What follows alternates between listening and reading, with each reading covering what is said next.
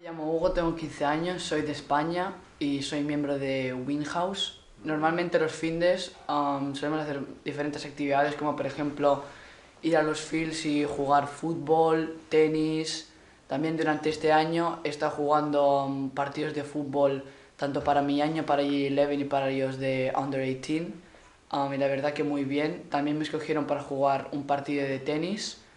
Um, y está la actividad que se llama PAS, que puedes, tienes varias opciones para jugar o para divertirte.